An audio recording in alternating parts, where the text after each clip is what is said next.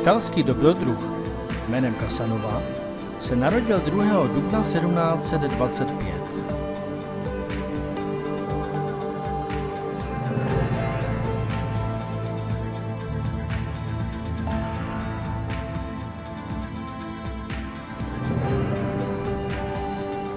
Zatímco Pavel Dorotka 11. listopadu 1990. Dorotka se tak narodil o 275 let později.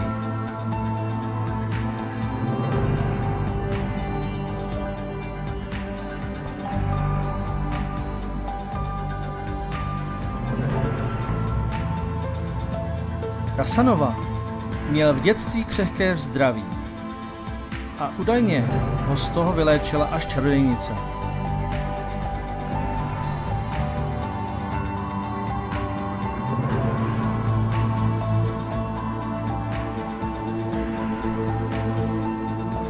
Dorodkovo dětství bylo plné dramatických situací, což mu vydrželo do dnešních dnů.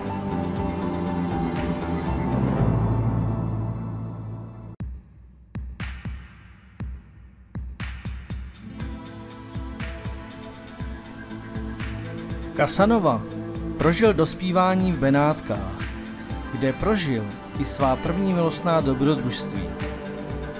Panictví přišel v 16 letech, kdy svedl dvě ženy najednou. Start nejslavnějšího milovníka všech dob byl tehdy velkolepý.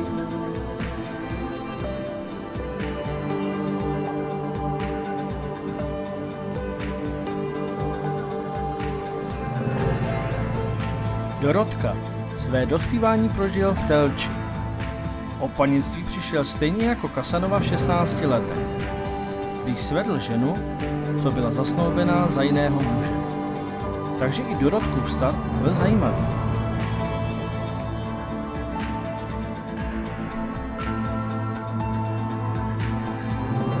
Kasanova brzy získal pověst milovníka, ale i problémového muže, který skončil na čas ve vězení, ze kterého však utekl.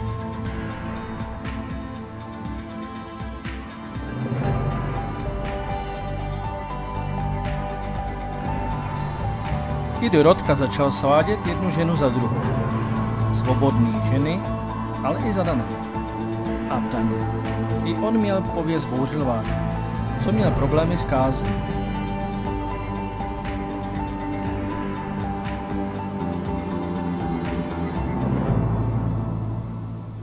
Přestože oba muži jsou sice podobní, v čemž najdeme rozdíly.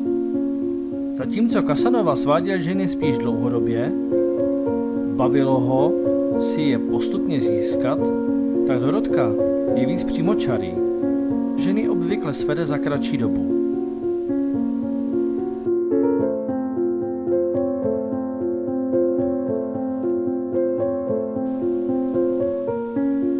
Je třeba zmínit, oba pánové se věnovali i jiným věcem, než jen ženám.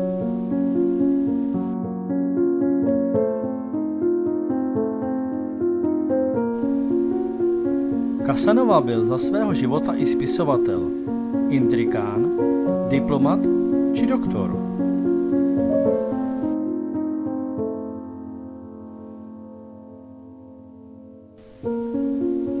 Dorotka byl kuchařem, je hercem, režisérem, scenáristou, spisovatel a v budoucnu by se rád stal politikem.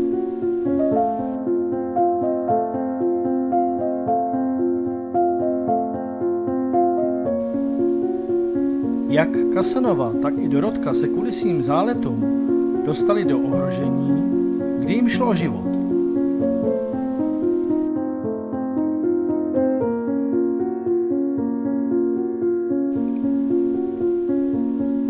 Oba pány pojí touha po pozornosti.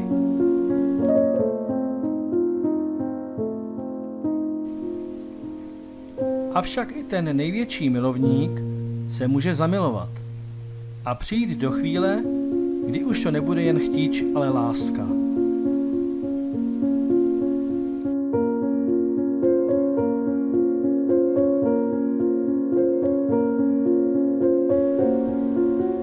Za osudovou ženu v životě Kasanovi je považována Henrietta, kterou Kasanova poznal v roce 1749.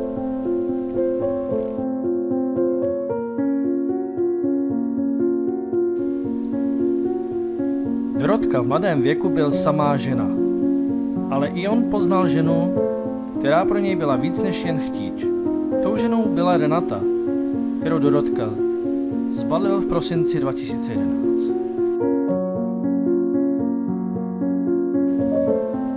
Ale čím skutečně Kasanova byl? Jaký byl člověk?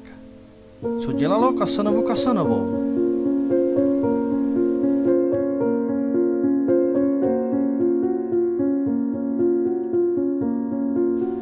Bylo by snadné říct, že Kasanova byl jen člověk, co se rád bavil.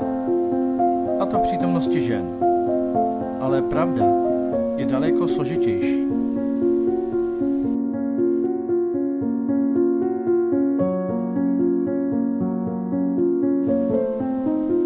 Kasanova byl v první řadě člověk, který byl všestraný.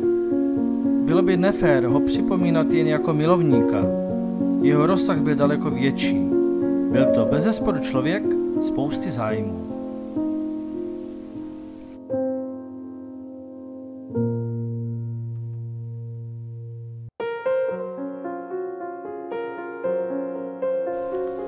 Kasanova miloval dobrodružství. Ostatně na konci svého života sepsal svůj životní příběh a právě to Kasanovu navždy proslavilo.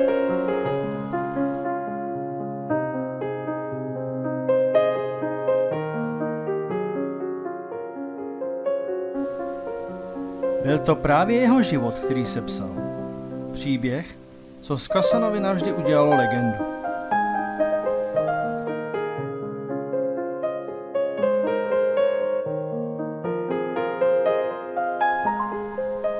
Stejně jako u Kasanovi, tak ani Dorotku nelze zaškatulkovat jen jako svůdníka.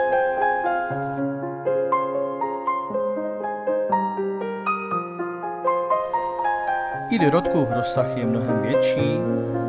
Na jedné straně máme muže, co touží stát se slavným hercem, a na druhé muže, který byl vždy rád obklopen ženami.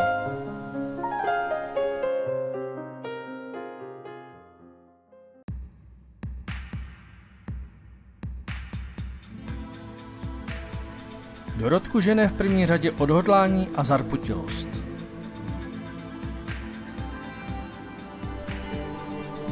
Jsme u konci našeho příběhu. A vy jistě chcete znát jméno vítěze?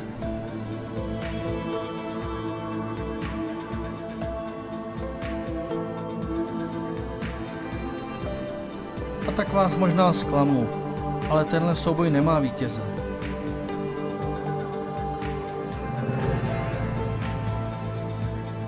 I když jsou v mnoha ohledech Dorotka i Kasanova podobní, tak je nelze brát jako soupeře.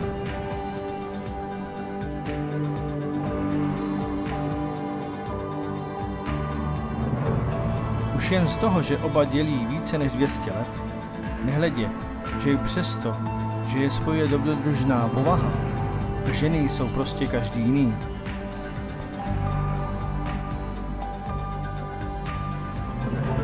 Kasanova byl muž, který na rozdíl od Dorotky netoužil po slávě. Příběh, který Kasanova sepsal o svém životě, tak ten psal, aby ve vzpomínkách znovu všechna dobrodružství prožil.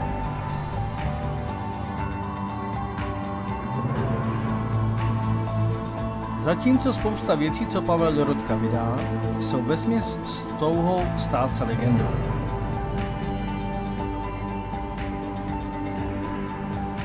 Takže ano, Kasanova byl jen jeden a Pavel Dorotka jen jeden. Mějte se krásně. To je konec našeho příběhu. Díky, že jste ho u nás strávili.